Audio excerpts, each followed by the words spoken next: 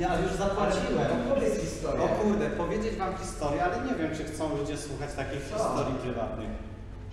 Miałem taką akcję, że pojechałem do fryzjera i zapomniałem portfela.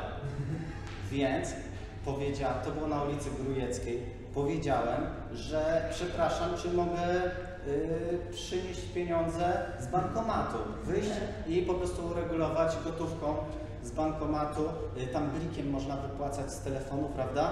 Akurat fryzjer nie, nie przyjmował kartą ani niczym takim, no ale okazało się, że bankomat y, jest nieczynny, więc pojechałem do domu z, z takim pomysłem, że wrócę jutro i zapłacę za tego fryzjera.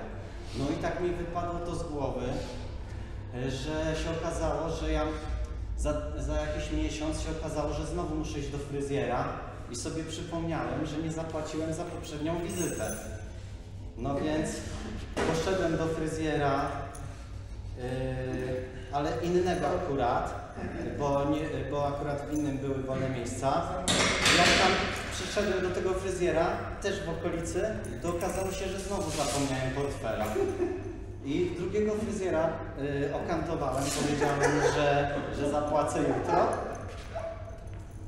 Y, No i jakby dwa razy pod rząd nie zapłaciłem za fryzjera i po kilku dniach przyjechałem i po prostu y, pojechałem oddać pieniądze jednemu i drugiemu fryzjerowi.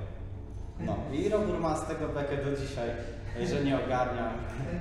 No ale ja myślę, że dużo się dzieje po prostu w naszym życiu i, i tak po prostu e, wydajemy się niezbyt rozgarnięci e, w kontakcie z wieloma osobami, bo no myślę, że po prostu dużo się dzieje.